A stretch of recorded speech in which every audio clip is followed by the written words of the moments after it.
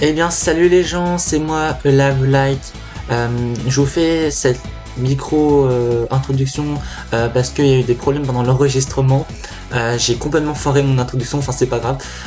Donc en fait, donc là ça sera, donc là je fais l'introduction plus tard que la vidéo. Et donc là, donc c'est une vidéo, enfin c'est une interview que j'ai fait avec Stéphanie Vonden- Vondenoff et Ambre Groovels, donc les chanteuses des Wings saison 6, 7 et euh, World of Wings. Donc euh, voilà. Et euh, j'ai aussi un petit problème avec le blend test qui sera vers la fin de la vidéo. Donc juste après les questions. Et donc ça sera donc elles m'ont fait et sont vraiment généreuses, c'est vraiment des, femmes incroyables ces chanteuses. Euh, elles du coup elles m'ont fait le blind test en à part donc sur des vidéos. Donc je les mettrai au montage bien évidemment. Et euh, je suis vraiment désolé de la qualité du son. euh, j'ai aussi des problèmes. Donc j'espère que vous entendrez bien et que ça vous plaira. Puis, euh, puis bah, j'ai j'ai été très heureux euh, de leur poser des petites questions sur les Wings. Et donc voilà. Donc je vous laisse maintenant avec la vidéo. Euh, bah du coup, du coup, euh, comment comment vous allez? Bien. Super. Et euh, donc voilà, premier temps, euh, vrai, je vous présenterai euh, sur vos, vos, vos parcours et tout. Et vous avez euh, bah, des informations supplémentaires, bah, je vous laisserai la parole. Et Ouais, si on entend tout. oui. Et euh, donc après, on passera aux petites questions et on finira par euh, un petit jeu, du coup. Ok. Donc bah du coup Stéphanie, donc toi tu es euh, doubleuse et chanteuse. Euh, Donc tu as participé à The Voice en 2018 euh, avec euh, Vita. Ouais. Euh, En tant que doubleuse, tu as fait le rôle d'Amanda euh, Ona- O'Neill dans l'école des petites sorcières. Ouais. J'ai Euh, deviné, hein. J'ai deviné un peu ce que tu disais, parce que là, j'ai rien entendu. mais- Ensuite, tu as fait euh, en tant que chanteuse, donc du, du coup, tu as fait les Wings à saison 6, 7 et euh, War of Wings. Euh, euh, ensuite, tu as fait Barbie, euh, Rock Royal et La Porte Secrète. Tu as fait également autres, ouais. Ever After Height, les Jeux du Dragon. Euh, et tu as fait Pokémon, le film 17, donc le générique de fin, et le film j'ai- 18, J'ai générique. fait, fait- plusieurs chansons des Pokémon, ouais. Ok. Et donc, Ambre, donc tu es actrice et chanteuse. Oui. Euh, donc, rôle en tant qu'actrice, tu as fait euh, BC dans Baby Balloon, en sorti en 2013. Et tu, en tant que chanteuse, euh, tu as fait bah, du coup Wings saison 6 et 7 et World of Wings avec Stéphanie et euh, Lâtre aussi. Donc, vous étiez trois. Et également, tu as fait dans My Little Pony et surtout le rôle de de de Trixie, la voix chanteuse du coup. Ouais. Et, et tu as fait Elena Avalor. C'est ça. Donc si vous avez quelques informations supplémentaires à par rapport à ce que à par rapport à ce que Ouais, j'ai dit. Nathalie Delattre, elle est, elle est euh, la directrice artistique de, de- ah, des chants euh, des Wings. Donc, elle, elle chante avec nous, mais elle dirige, elle nous dirige en studio, en fait, aussi. D'accord. Ok, d'accord.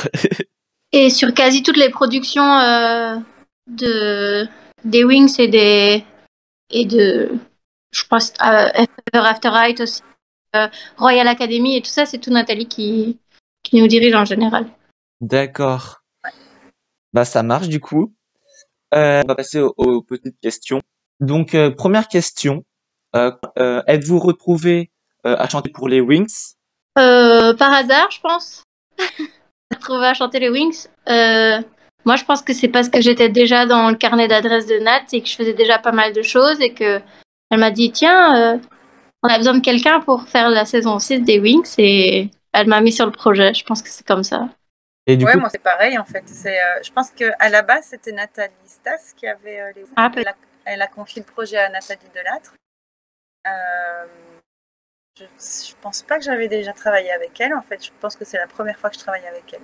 Et euh, voilà. Mais en fait, on est casté. Hein. C'est euh, les directeurs artistiques euh, choisissent les voix qui correspondent le mieux euh, aux versions originales et, euh, et voilà, c'est comme des castings d'acteurs quoi. D'accord, Sauf que c'est vocal. Oui, bah oui, du coup, oui.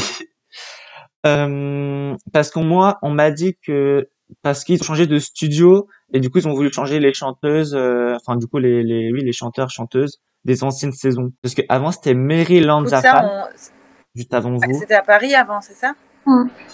Alors ça je sais, je Oui, bah, saurais ça pas. sont des, ce sont des, des, des trucs qui appartiennent aux, aux productions et aux clients, tu vois. Ça, on n'est pas au courant. Et, euh, D'accord.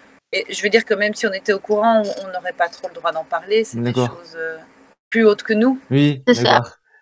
D'accord. Il me semble que c'est ça, hein, qu'il y, avait un- il y a eu un changement de, pro- de, de studio. Et donc, ils ont changé tous les, tous les comédiens. Mais après, on n'en sait pas beaucoup plus. D'accord. Hum, question 3. Enfin, du coup, euh, prochaine question. Euh, bah, qui vous aimez chez les Wings, si vous avez regardé, du coup. Et, euh, quelle est votre inspiration pour les chansons? Euh, bon, moi, je t'avoue évidemment que je ne regarde pas les Wings parce que j'avais déjà, parce que j'avais 36 ans quand on m'a proposé et ma fille, mes enfants étaient vraiment très très petits, donc j'ai quand même entendu, enfin j'ai vu passer quelques dessins animés parce que ma fille en a quand même regardé un petit peu. Oui. Ce qui est chouette, je vais faire ma féministe, mais c'est que c'est pour une fois, ça fait travailler énormément de filles.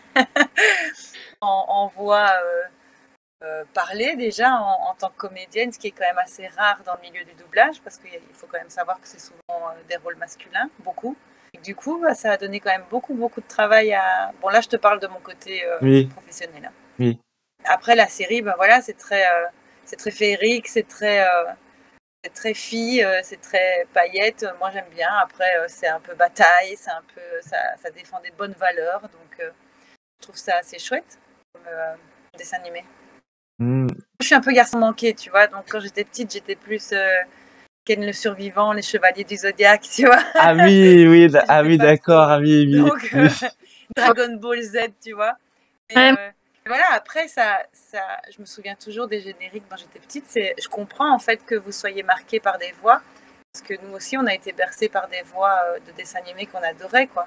C'était plus Bernard Minet, enfin moi en tout cas, c'est lui qui faisait tous les génériques euh, du Club Dorothée. Et voilà, maintenant j'ai. Ah, le club Roté Roté, ah oui, oui, oui, oui, oui. D'accord. Ouais. Ouais. Je suis de cette époque.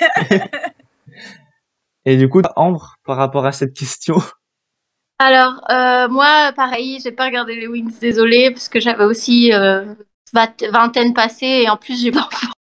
Donc je regardais vraiment pas ça du tout. Et j'ai des neveux, mais c'est que des petits garçons. Donc, euh, bah, quand on regardait des films en général, on regardait Dragon et des trucs Oui. comme ça. Donc, oui, bah oui, oui. et, et je suis aussi euh, un peu garçon manqué euh, malgré moi, parce que moi, mes frères sont de la génération de Stéphanie, justement. Et c'est des garçons, donc j'ai regardé la télé avec eux toute ma jeunesse. Et on regardait les Chevaliers du Zodiac, Dragon Ball Z, tous ces trucs-là. Donc j'ai jamais été très fille, et en plus, je suis. Je continue là-dedans parce que je regarde en général que des trucs d'horreur, des trucs de, de suspense, de machin. Je regarde très peu de choses un peu euh, filles. Très, très, très peu. Donc, euh, ça ça m'a jamais trop, euh, trop appelé euh, cet univers-là, malheureusement. Après, euh, c'est vrai ce que dit Steph, c'est très, euh, c'est très euh, fille. Donc, il y a plein de filles. Et ça, c'est cool. Et euh, ben, bêtement, dans les chansons, on est que des, que des filles. Donc, déjà, c'est c'est rare. Il y a toujours un gars qui arrive au milieu pour, pour prendre le. Oui. Normalement, normalement, c'est les filles, euh, c'est les filles qui, qui fait les voix des jeunes garçons. Donc, Il y a beaucoup de filles qui font des voix de jeunes garçons parce que c'est très compliqué à faire, mais, euh, mais c'est très compliqué à faire aussi pour les filles de faire des voix de bah, garçons. oui, oui, c'est sûr. Donc c'est ouais, c'est un peu compliqué. Mais, euh, mais à part ça, oui, je, je, je, j'entends que c'est une série très, euh, très sympa euh, niveau valeur et tout ça, mais après, je, j'avoue, je je suis pas qualifiée pour en parler. Tu sais qu'il va encore y avoir une pétition pour que- pour qu'on nous vire. Ça, hein. je sais pas si tu es au courant, mais euh, les, les- les- les fans n'avaient pas trop apprécié qu'on change les chanteuses et je comprends, hein, quand on change euh, même une voix de doublage d'un acteur super connu et qu'on lui met une autre voix, les gens ils, ils détestent. Oui, c'est, bah oui, c'est sûr. À, à une certaine voix. Oui, c'est sûr. Maintenant, je pense que ça fait partie de l'évolution aussi. Regardez la saison 1 des Wings, sont peut-être plus les mêmes qui vont regarder la huitième, quoi. Bah oui, du coup, oui, c'est sûr que. Après, moi, ça m'a pas trop choqué. Enfin, personnellement, c'est. Bah, moi, je trouve que c'est c'est- c'est- c'est riche, quoi, de un peu de changement comme ça. euh, que c'est jamais les mêmes génériques, quoi. C'est c'est pas comme si euh, on avait rechanté des génériques existants, en fait.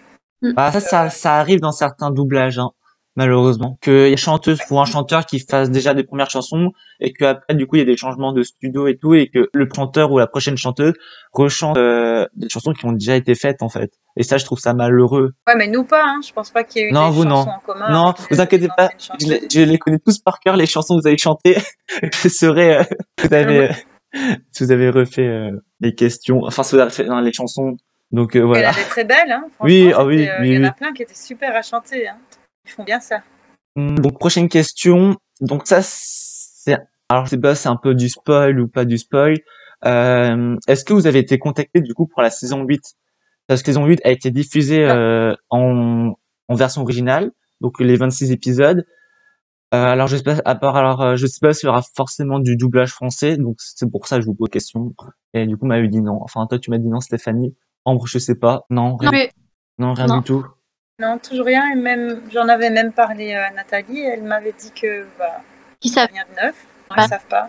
Peut-être qu'ils attendent de voir si la saison 8 prend euh, ailleurs avant de les faire doubler dans d'autres pays. Je sais pas. Parce que tellement, je vous avoue, que ça m'a fait un peu un choc de voir la saison 8 parce que tous les tous les graphismes euh, les graphismes ont changé en fait par rapport euh, Oui. aux anciennes saisons. Donc enfin voilà, après c'est juste mon avis, c'est un avis personnel. Donc euh, voilà. Et J'ai vu passer ça quand j'ai fait mes petites fouilles pour me remémorer les chansons. Hmm, D'accord. Euh, prochaine question. Euh, quel est votre parcours euh, dans le métier de chanteuse, chanteur ou de double, enfin comédien euh, puis doubleur? Vous avez, qu'est-ce que vous avez fait comme école euh, Vas-y, Ambre. Vous faites la. Alors moi j'ai pas fait d'école de doublage, j'ai fait mes mes secondaires donc tout, tout mon mon collège lycée en en athénée artistique en théâtre en chant. Donc j'ai un petit euh, on va dire un petit bagage. Après euh, j'étais à l'académie donc euh, genre le conservatoire en théâtre, en chant, solfège. euh, J'ai touché un peu à plein de trucs. J'ai essayé la flûte, ça n'a pas du tout fonctionné. Le piano, ça n'a pas du tout fonctionné. Donc j'ai fini par faire du chant, rien d'autre, parce que il y avait que ça qui me plaisait. Donc j'ai une formation lyrique, donc je en général. Après, euh, il n'y a pas beaucoup de taf dans l'opéra euh, quand on n'est pas dans le dans le milieu. Donc je me suis un peu diversifiée. Et je fais plein de trucs. Je fais de la pop, du celtique, du rock, du rap. Je fais un peu tout. Et euh, un jour, par hasard, ma prof de théâtre, euh, qui était très jeune à l'époque, avec qui je m'entendais très bien, euh, et aussi, Émilie Guillaume, qui a une voix super chouette, qui est Ah ouais, à fond. Super connu. Hein. elle est super connue, euh, c'est une petite ninja. En plus, elle fait euh, elle est cascadeuse et tout ça, donc si jamais euh, allez checker, c'est super chouette ce qu'elle fait. Et elle fait du doublage. Et elle m'a dit, t'as une voix euh, particulière. Ils en cherchent des filles avec des voix de, nénettes, de petites filles, mais adultes, parce que c'est plus facile de travailler avec des adultes qu'on des voix de gamines plutôt qu'avec des vrais enfants. Donc j'ai été et j'ai fait un test avec mon Nathalie Stas. Et elle m'a gardé dans ses données. Et genre deux semaines après, elle m'a dit Ah bah, il y a un petit rôle dans Barbie, euh, j'ai besoin de toi. Et voilà. Et je suis arrivée là-dedans. Et depuis, ben, Nathalie Staff est un peu devenue mon, mon ange gardien. Elle me met sur des projets, sur des gros projets aussi. C'est elle qui a poussé pour que je puisse faire euh, Elena Davalos, qui, qui a dit à Disney euh, c'est elle qu'il faut écouter là au moins. Donc, grâce à elle que j'ai eu beaucoup, beaucoup de rôles. Et après, Nathalie Delattre, pareil, qui m'a poussé dans plein de pro- projets, plein de, plein de studios différents. Et donc, c'est les deux Nathalie, elle moi, mis dans ce métier euh, de doubleur. euh. donc, je, je leur en suis très, très reconnaissante. Et après, euh, bah, j'ai fait des trucs de théâtre, j'ai fait des films, j'ai fait plein de trucs. rien, enfin, si, j'ai fait Baby Balloon, qui est mon, mon gros film, on va dire. Mais après, voilà, j'ai fait des petits courts-métrages, des choses comme ça. Et voilà, en gros. D'accord. Bien. Oui, bah oui, c'est déjà pas mal. Bah, franchement, moi, je, moi, je dis bravo, hein, parce que euh, c'est très, très, bah, très impressionnant hein, de, de ce famille, mais c'est, un- enfin, genre, c'est quelque chose pour nous personnellement. C'est, c'est, moi, si j'aurais été à ta place, ça m'aurait, ça m'aurait, euh, ouais, ça m'aurait ébloui. J'aurais été heureux, enfin, j'aurais été content euh, d'avoir fait tout ça. Ouais, je suis, en fait, je suis très contente d'avoir fait tout ça, mais je, je, je suis pas très douée pour euh, montrer. Donc en général, je suis très euh, euh, timide pour tout ça là-dessus. En général, je parle pas de mon parcours et tout ça parce que il y a énormément et je sais que pour mon âge, j'ai fait beaucoup de choses et, et en fait, je sais pas pourquoi ça me gêne, je sais pas pourquoi. Mais euh, j'ai eu, j'ai eu des, des rôles en doublage qui m'ont, Oui. qui m'ont euh, euh, émerveillée. Je sais que j'ai fait un doublage avec Alain Eloi un jour. et en mode fangirl devant lui comme ça, parce qu'on était dans le même studio et qu'il fait euh, Rick et Morty et que je suis fan. Et un petit épisode dans Adventure Time un jour que je suis super fan aussi, et donc j'étais complètement euh, euh, fangirly euh, devant là. Je voyais des trucs en, en, pr- en, en avant-première un peu et tout ça. Donc y a, je, je- je suis toujours un peu enfant en fait quand je reçois des projets. Je suis toujours là genre ouais ouais super. Des trucs euh, à la Disney Channel et tout ça j'aime beaucoup, mais euh, je suis pas très douée pour euh, le montrer. J'ai toujours l'air un peu gênée. D'accord. Et euh, Euh, je suis vieille, moi, j'ai beaucoup de trucs à raconter, mais alors, en résumé, ben, j'ai fait euh, aussi une école d'art, mais moi, c'était plus euh, dessin, enfin art plastique. Puis, sur le tard, j'ai toujours voulu être chanteuse, en fait, depuis que je suis toute petite. Et vers 20 ans, je pense, j'ai commencé à étudier le solfège. J'ai toujours eu des groupes, en fait. J'ai jamais travaillé toute seule, j'ai toujours fait des groupes depuis mes 15 ans. Et euh, euh, avant, j'ai euh, été à la Nouvelle Star à Paris, ce qui était très dur pour moi parce que je n'imaginais pas un parcours musical dans. Voilà, moi j'imaginais plus l'ancienne qu'un producteur allait me repérer dans une salle et que j'allais pouvoir faire des concerts. Je viens plutôt du milieu du rock, donc pour moi tout ce qui était émission télé, c'était pas du tout ma voix. Et puis, bah, voilà, j'ai fait. Fait plein de groupes, on a sorti des albums, puis euh, à 38 ans, je venais d'avoir mes deux enfants et je commençais un petit peu à ressembler un peu trop à une femme d'intérieur à mon goût. Donc j'ai eu envie de m'inscrire à The Voice pour, euh, bah, pour, pour m'amuser vraiment. Là, c'était voilà, je pas du tout euh, dans un, un- une optique professionnelle. C'était vraiment plus pour me prouver à moi-même que j'étais encore capable de des étapes, voilà. Et euh, c'était une, super expérience. J'ai rencontré plein de chouettes personnes. Et par rapport au doublage, en fait, euh, j'ai vraiment atterri dans ce milieu-là par hasard. C'est euh, mon meilleur ami de l'époque qui, qui avait rencontré Nathalie Stas au Festival euh, Fantastique de Bruxelles et qui avait parlé avec. Et, et puis voilà, il, il lui avait parlé de moi. J'ai été faire un test. C'est un peu la même chose qu'Ambre, en fait. Nathalie, c'est.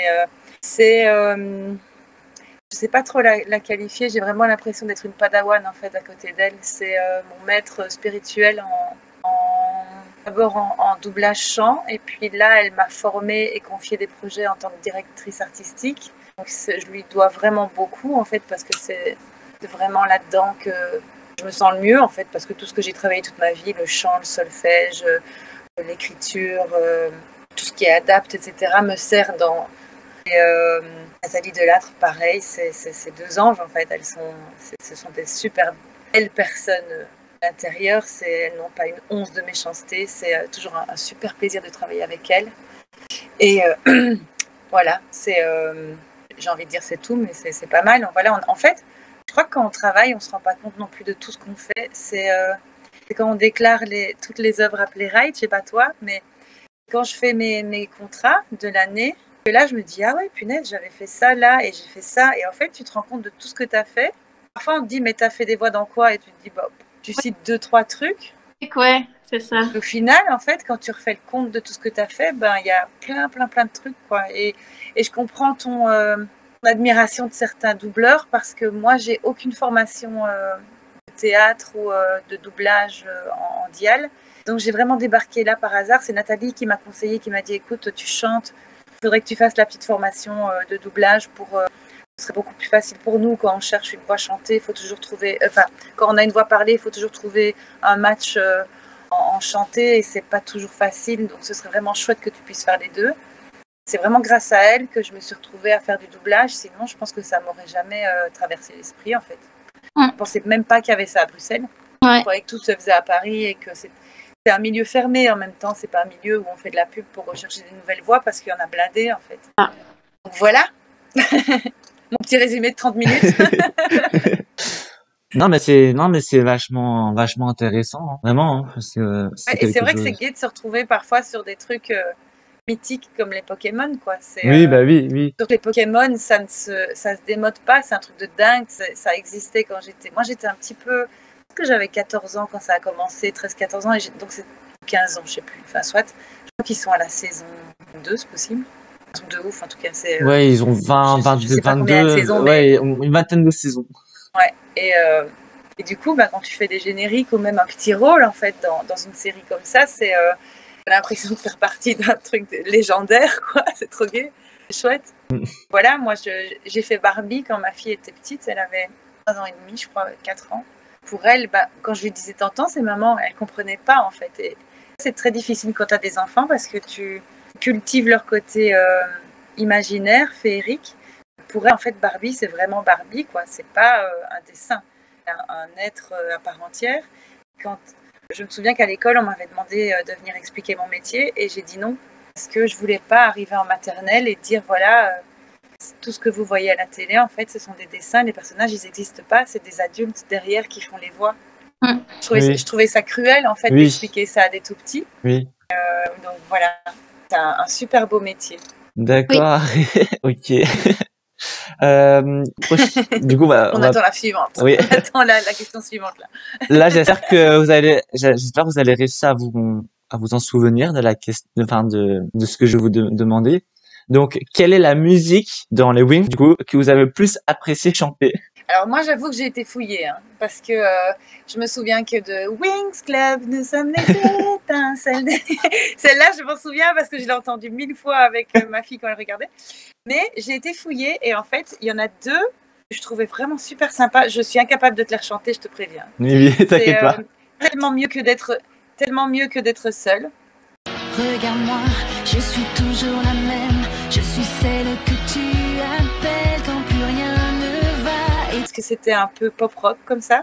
Mhm. Et donc ça faisait partie de la saison 2. Et j'ai mes petits Mhm, copions. Oui, saison 2, oui, saison 2, oui. Et, euh, ouais, et euh, Prends ma main de la saison 6. alors nous dansons. Prends ma main, allez viens. Mes pas s'impriment dans les tiens. En tempo, c'est si beau. Qui est euh, un super beau morceau sensible et fort Oui, à la fin. oui. Et je, je- voilà, il y a vraiment des très très belles chansons. Et en toute honnêteté, il n'y a pas vraiment une chanson où je me suis dit, pff, elles sont vraiment. euh, Il faut savoir que tous ces, tous ces gens qui font les Wings, Barbie, Mattel, etc., c'est quand même des vrais compositeurs derrière. Oui. C'est, c'est toujours des magnifiques musiques. Pokémon, c'est encore à part entière parce que là, c'est un peu plus dark et tout ça, mais c'est des vrais compositeurs, des vrais musiciens et c'est toujours de la qualité en fait. Et voilà, moi, c'est les deux euh, qui m'ont euh, le Plus marqué, ouais. Et toi, du coup? Je pense que c'était DreamX. C'était plein là.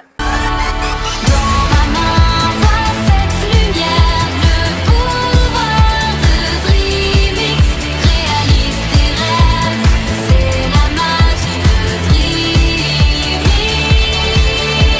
Ouais, elle était trop cool.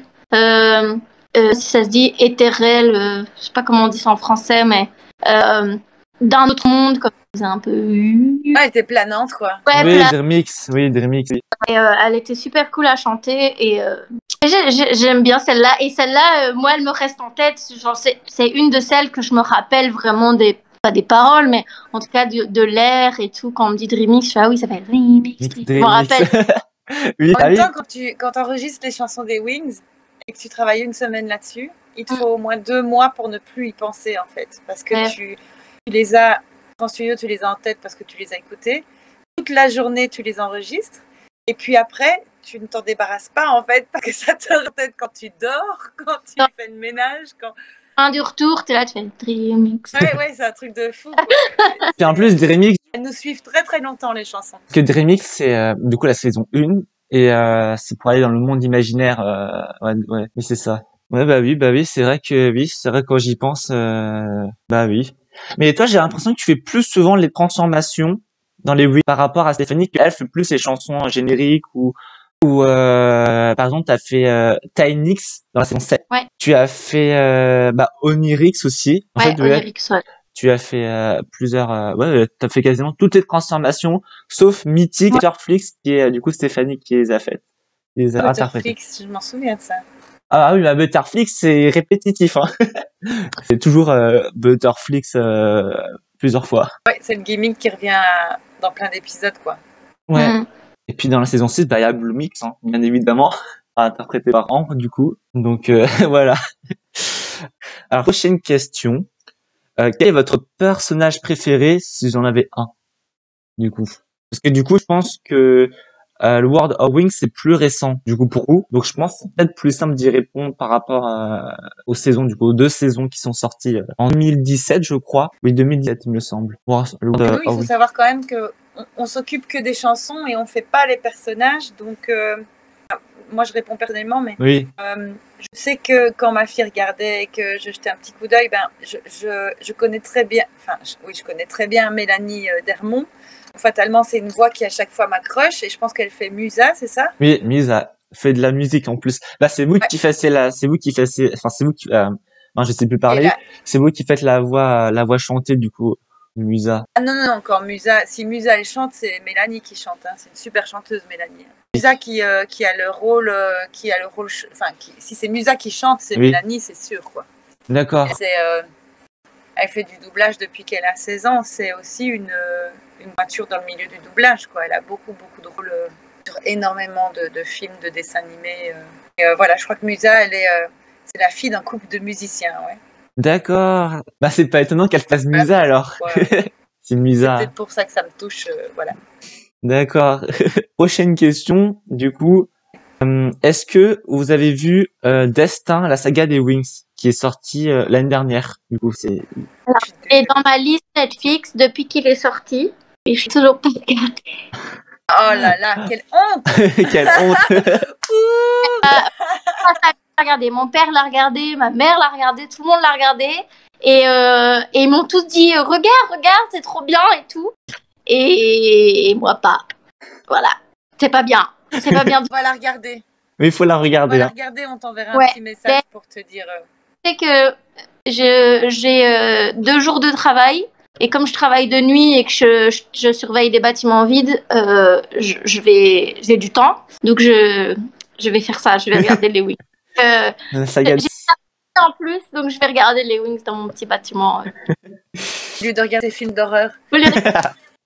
Non, je regarde l'horreur, moi, dans mes bâtiments toute, toute seule. Je trouve que ça donne un petit côté. Putain Quelle horreur Tous mes collègues. Ça. Et du coup, toi, tu l'as vu, euh, du coup, Stéphanie, la saga? Je suis désolée. Non. Mais euh, je vais la mettre dans ma liste Netflix et je vais la regarder avec ma fille. Parce que c'est vachement bien. Mais par par contre, il n'y a pas Flora hein, dans la saison 1. Moi, je suis triste. Hein. Flora, euh, Flora, euh, Flora la best. Meilleure. euh, Mais Flora, c'est quand même un des personnages principaux. quoi. Oui. Du coup, c'est sa cousine qui est dans la, c'est sa cousine en fait qui est, qui est, et ils ont fait une annonce comme quoi elle viendrait dans la saison 2, du coup. Bah, donc j'ai hâte. On va croire les, fans à regarder la saison 2. Oui. ça va encore attirer plus de monde. Moi-même, mon compagnon l'a vu. Et mon compagnon a dit Je trouve ça honteux que tu ne l'aies pas vu alors que tu as doublé le dessin. Bah oui. Oui, Bah oui. et donc, Se faire incendier. De- On va recevoir des menaces de mort et tout, quoi. ok. Donc, prochaine question. Bon, du coup, alors, on m'av- m'avait répondu en, en partie. Et donc, c'est, alors, est-ce que vous traduisez, euh, traduisez les paroles ou sont-elles déjà traduites? Est-ce que, par exemple, avec, du coup, avec les Nathalie euh, Delattre, est-ce que, par exemple, vous lisez les paroles et vous mettez des trucs avec elles ou, euh, ou sont déjà traduites de base? Il y a quelqu'un qui adapte euh, les chansons, euh, on les chante. Donc nous, on reçoit la version originale pour avoir la mélodie et avoir le placement à peu près des, des phrases euh, chantées. Oui. Et après, on reçoit la version euh, écrite France, francophone, Oui. française, pour euh, et, avec Nathalie euh, Delattre, on, on place les bons mots où il faut et les bons temps où il faut pour que les mots euh, collent et que les temps forts soient où il faut et que les temps que tout soit bien mis en place et que ça sonne à peu près joli aussi parce que Oui. Bah oui. si on n'importe comment, ben, franchement, ça, ça donne rien. Très très rare, mais des fois il y a des petits mots clés ou des et, des on doit changer. Mais sur les wings, il me semble qu'on n'a jamais, euh, on n'a jamais dû changer ça. euh, C'était D'accord. relativement bien, euh, très bien adapté. D'accord. Après voilà, c'est, c'est, nous on, on ne traduit rien. Oui. Habituellement, ouais, habituellement, c'est le travail du DA Ouais. qui euh, adapte. Mais là, je pense que c'était adapté à Paris par Claude Lombard, c'est possible Si je me souviens bien Ah, je, euh, qui, euh, qui, est, qui est une Belge qui, euh, qui, est décédée il n'y a pas très longtemps, mais qui, euh, qui a adapté euh, une chanson qui est très connue dans le milieu aussi. Habituellement, c'est le DA qui dirige, qui adapte ce, ce, ce qu'elle dirige. Quoi.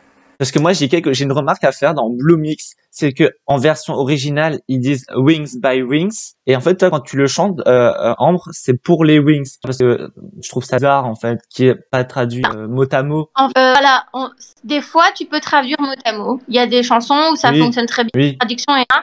Et il y a des fois où en fait ça c'est impossible. Il y a des choses euh, anglophones euh, qui, qui sont euh, impossibles à traduire. Ben, wings by Wings, en français ça donnerait Wings pour Wings. oui, Et pas forcément. Euh, ça- Il faut que ce soit clair, pas clair, faut que ce soit joli aussi. Oui. euh, que les gens puissent comprendre tout de suite, en fait. C'est ça. ça, hein. Parfois. Il y a plein de chansons, en, bêtement, chez Disney, il y a plein de chansons où euh, clairement ils ont privilégié le joli plutôt que le, le, le mot à mot et le- la traduction littérale. Et euh, des fois, ça fonctionne, ça fonctionne très très bien. Des fois, bon, c'est un peu bizarre. Mais euh, il y a toujours le sens global. Et après, euh, des fois, il y a des petits, euh, des petits changements de, de, de traduction pour que ça colle mieux, en fait. Et des fois, c'est clairement la prononciation. Il y a des choses qui sont imprononçables ou qui sont trop longues ou trop courtes par rapport à la version anglaise. Donc, pour une phrase qui va faire six mots en anglais, bah, ça va en faire 10 en français et c'est incollable dans, le, dans la partition. Donc, on est obligé de sauter un peu ou de, trouver une autre manière de le Oui. dire, en fait. euh, C'est de l'adapt, hein. c'est Oui. pas de la traduction. Hein. Après, oui, comme vous disiez, oui, des fois, ça peut marcher, du coup, le, le mot à mot. D'accord. Rare, mais oui. Ok. Et maintenant, on va passer à la dernière question. Et du coup, après, on va au, au blind test. Euh, donc, du coup, bah, du coup, Stéphanie, tu m'avais dit que, du coup, tu pas. Mais, euh, du coup, Ambre, donc, est-ce que tu as des anecdotes sur les Wings? Dans les chants, quand t'as chanté ou, euh, je ne sais pas si j'ai des anecdotes sur les Wings, mais je sais que j'ai eu plusieurs demandes de petites vidéos personnalisées pour, pour certains fans euh, en chantant euh, des petits morceaux des Wings et tout ça. Et c'est toujours très rigolo. Les gens viennent me voir, disent Ah, mon chéri, il est très fan, ou ma chérie, elle est très fan. Est-ce que tu peux me faire une petite vidéo où tu chantes Dreamix ou Blue Mix, peu importe euh, en faisant un petit coucou, en disant bon anniversaire ou des choses comme ça. Et euh, ça fait, je sais pas, une dizaine, je pense. Et ça me fait toujours rigoler parce que j'ai l'impression d'être une grande star. D'être bilé, un truc comme une chanson pour mon pour les fans, ça me fait très rigoler, ça me fait très plaisir aussi. Et euh, en général, euh, sauf quand je vois pas le message, bon là, je fais pas exprès. Mais, euh, mais quand je vois le message, et, en général, euh, je le fais. Et, et j'ai toujours des réactions très, très sympas et des messages de remerciements après. En général, c'est super chouette. Donc voilà. Mais c'est gé- c'est génial, en fait, de l'autre côté, parce que j'ai rencontré Richard Darbois. Et, euh, pointure, euh, moi, c'est le maître du doublage. Qui connaissent pas, mais ça m'étonnerait. Euh, Indiana Jones, Buzz l'éclair, euh, Richard Gere, il il en fait plein. Ah. Et j'ai rencontré à Disneyland Paris.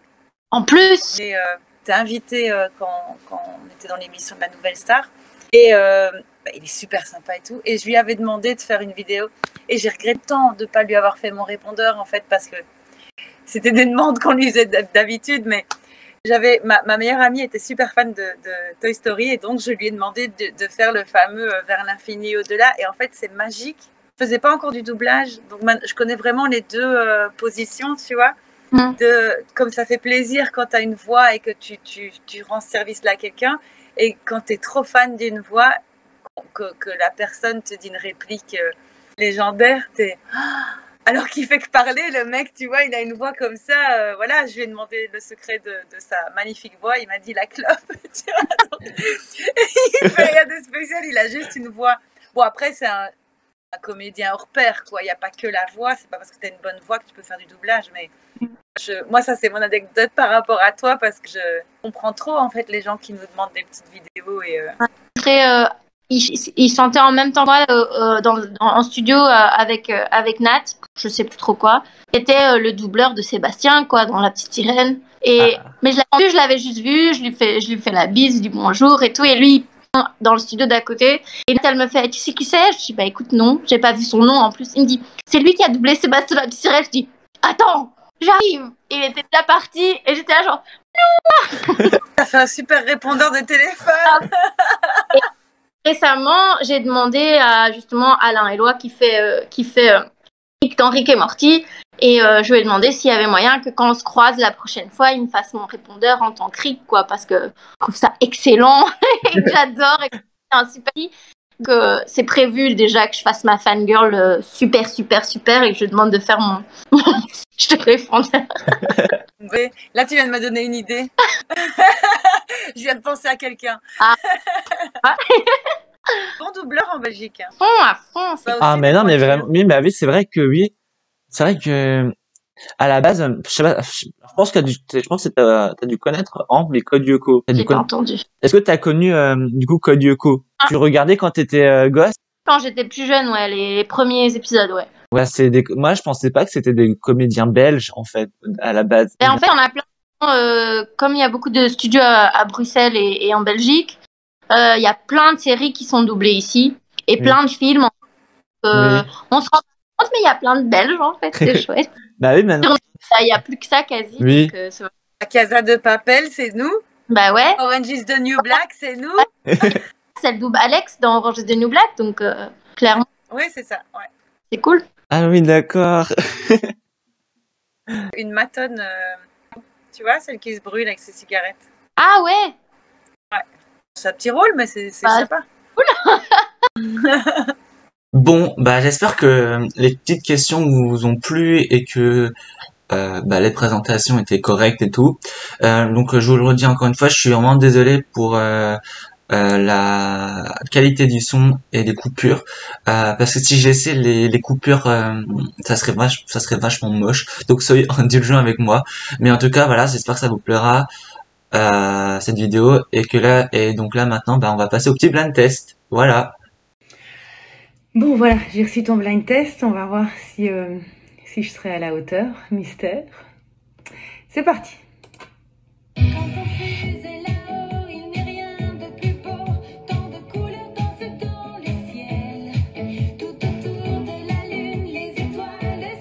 Ça va me revenir. Je la connais toujours évidemment. Ensemble on s'envole.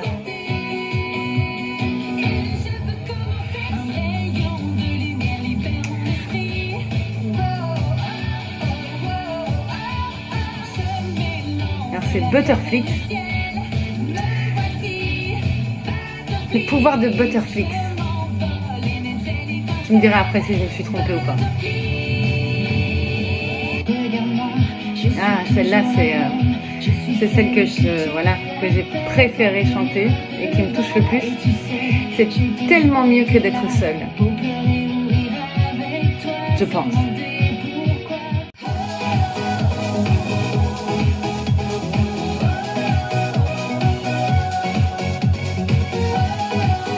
Grave, je peux pas. je suis désolée.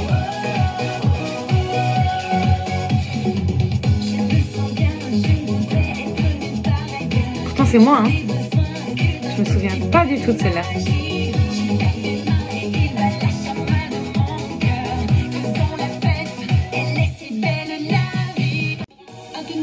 D'héroïne. c'est moi, mais-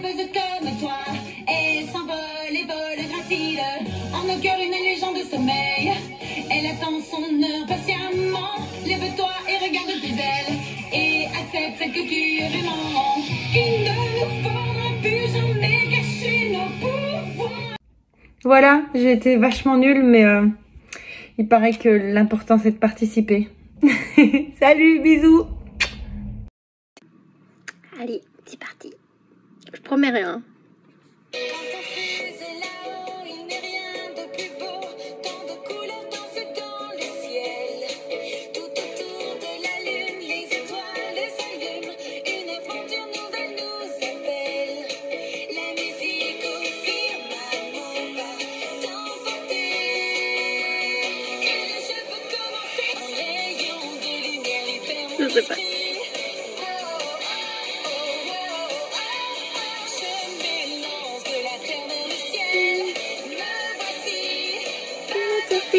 Ok, ça je connais, Butterflix.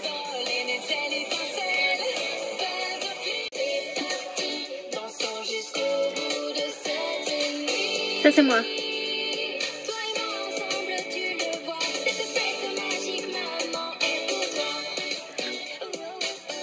Mais je me rappelle plus du, pré... du nom. Ça c'est Nat.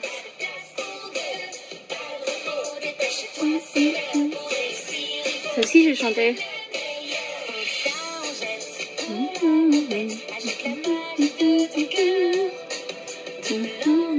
De l'argent, c'est mieux. Je me rappelle. Mais je me rappelle plus ça s'appelle.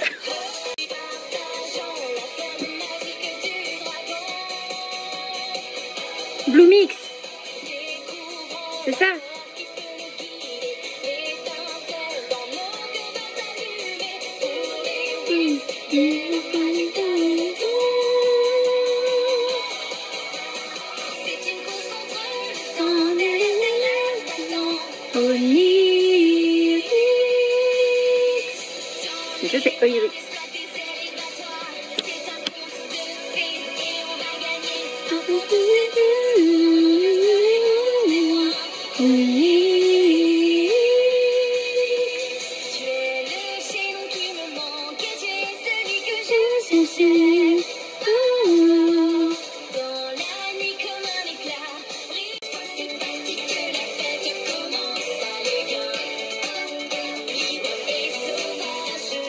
Ah oui, libre et sauvage. Ah, Après, je viens de le dire. Je, triche un petit peu, mais. euh, je me rappelle vaguement de cette chanson-là, mais. Je pense que j'ai été tellement vite pour la- l'enregistrer. S'amuser. Si, je me rappelle en fait.